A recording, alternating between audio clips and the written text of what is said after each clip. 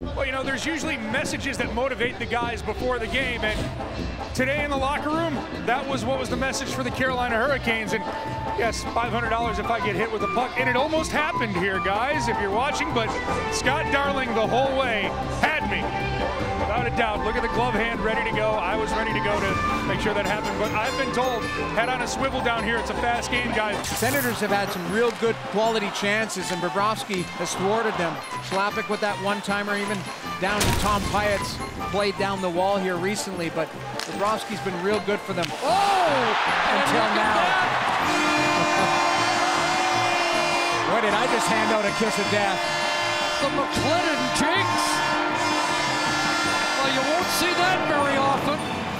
No, not at all. Nick Paul just throws this towards the net, and Bobrovsky actually toes this. This is going wide. Had hit a leg, and Smith will back it out. Karlsson racing after it, has two today, a diving sweep to the net, and he scores! Here come the Hats in Vegas for the first career hat trick for William Karlsson. Well, is there a better way to end 2017? William Karlsson with his 20th as he gets the hat trick against the Leafs. And down come the Hats. It's Kevin Bieksa, undercover as a security guard. I'm security. One sec, one sec, sir. I almost kicked you in the head there.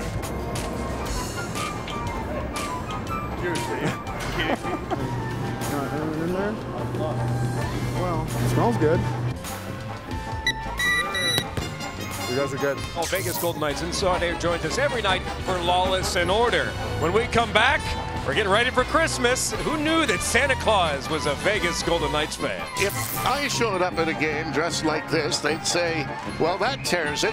RJ has finally flipped his lid. Some guys will wear anything, huh? Well, at least he's got a tie on. You're right.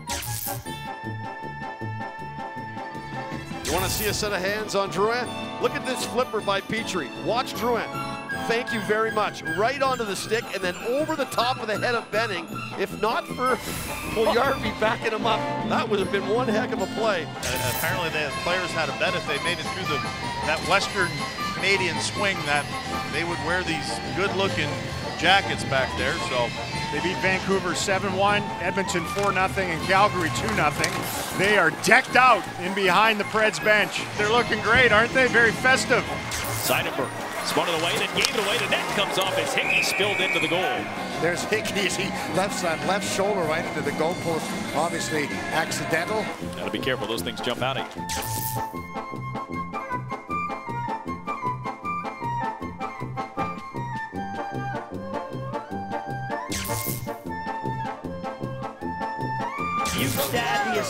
Oh. And look out, right wow. into the net goes Barkov. It's dislodged. And they let the play go because Philly has possession. Hopefully he's okay.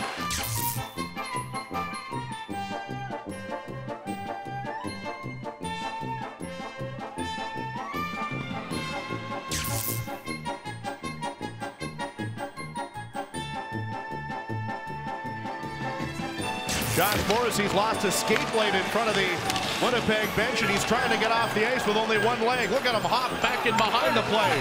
That's great effort by Josh Morrissey. Off that face off the puck, off, up, off of Johnson over top of the glass. The guy staggered down there to get it. Didn't spill a drop, I don't think, it from his beer and got the puck. Staggered being the key word. He's going to clean in the glass, too. It's Southern manners.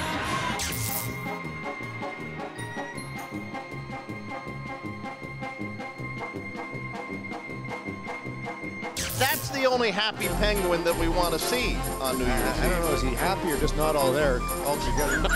wow. Got some issues there. Andrew Mangiapane, this is customary in the NHL. Your first game, you get to do a little dangle by yourself. And it took about 33 seconds, I think, before Mike Smith led the rest of the Calgary Flames on the ice, just adding a fuel to the fire. Another fine night, his initial evening in the NHL tries to impede Pastrnak, who swivels it across, and a tremendous penalty call by Ian Walsh, going down on the pivot, kept his arm in the air. Never spilled a drop. Who has more fun than us?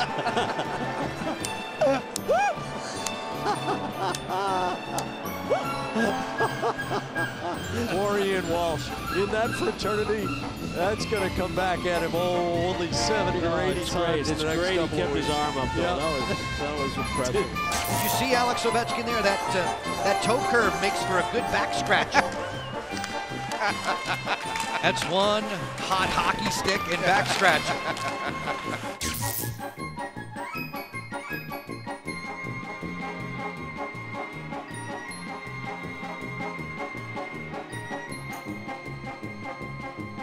Punched away by Santini. Our guy Otto said that Giffen scored that three-on-five goal Look against out. Toronto. Look out! And Oh, Hunt got back What and a made a miraculous save on Coleman after he gave it away. Watch this play by Hutt. He can't play that puck in that area. That's the trapezoid. No play area for the goaltender. So he mishandles the first one that results in this. But watch him scoot back, pushing off to his left, and he just makes a fantastic save. Run into by Joakim Nordstrom, Victor Rask, Justin Williams on this line. John Carlson turns it over. They score! Victor Rask gets a late Christmas present from John Carlson. And the Canes are off and running. Carlson gathers this, he's trying to go D to D, and he just fumbles it.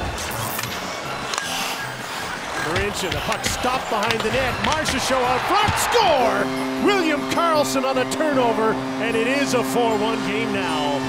Boy, what a bad luck play for Marinson there, Jim, as Trevor Hanson, the official, just tried to get out of the way.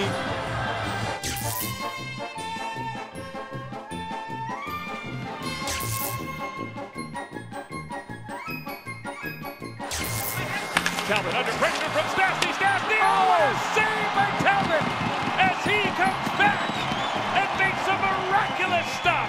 Oh, are you kidding me? Talbot, a miraculous save.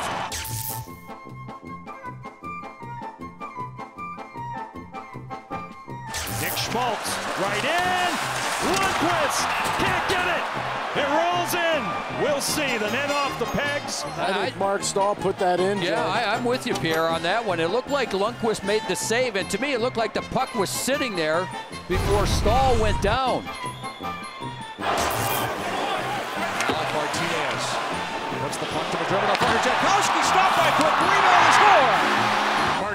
Martinez throws it over to MacDermid. He's not quite ready for it. Tries to take it on his backhand.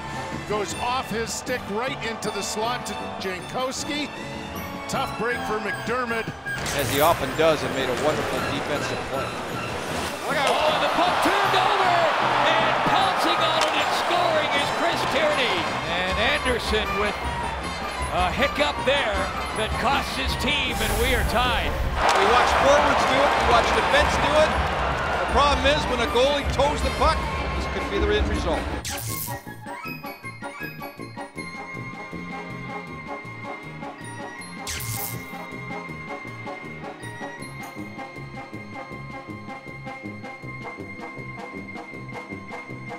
Marner plays the puck back again. Riley decides to shoot a deflection.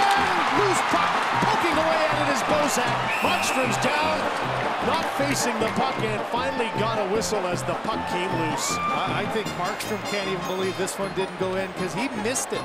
Forces a double deflection. It's right there for the oh. taking, and Bozak missed it twice. A goaltender's sixth sense has to know, okay, I felt it off my foot, comes back around, and then that right there, the blocker against the post saves the goal, but Markstrom able to get the glove down to make the save. Ravel looking for an outlet. It's to Foley. Banks it off the boards. Kempe with the steal on Subban. He scores! Adrian Kempe Subban was on the ice for the Kopitar situation. Here, he just fans. The stick of Kempe is an issue here. Well, look at that. He at least forces Subban to kind of second guess himself.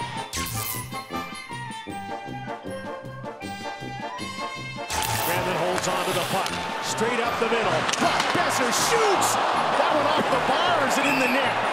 We're going to have to check this. Well, Besser definitely thinks it's in. it. And the goal light is on. It's a Vancouver Canucks, Canucks celebration of a Brock Boeser goal that they'll check on just to make sure, but what a laser beam.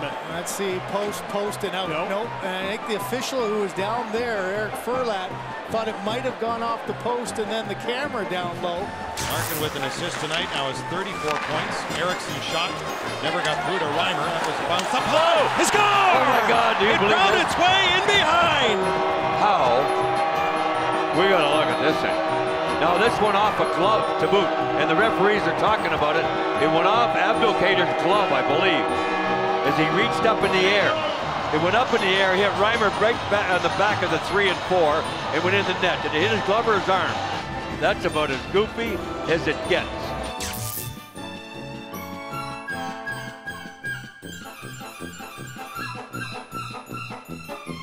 Kuzi had more fun than these kids out there. I don't know if he enjoyed this, Alan.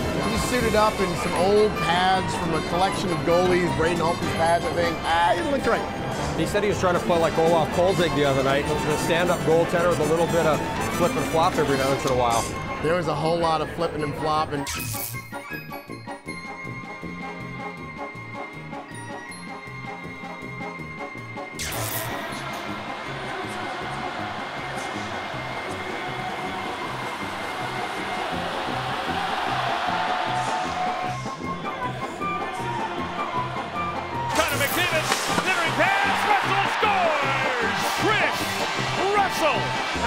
Oilers finally get on the board after quite a long time.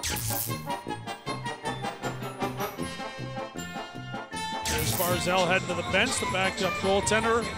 Malak opens the door and Barzell goes in awkwardly, to say the least. Was not expecting that door to open. It has been that kind of stretch for the Islanders.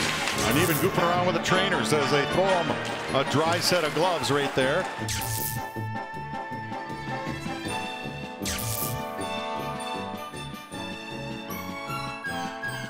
Puck, Bonino to the middle.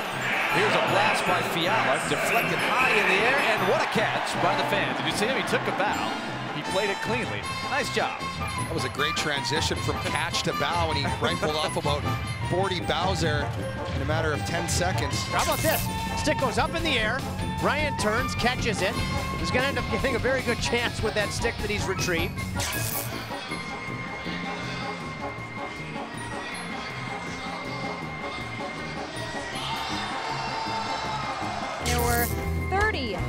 Schmitz at practice yesterday, guys. They came from Washington to cheer on their favorite former Caps player.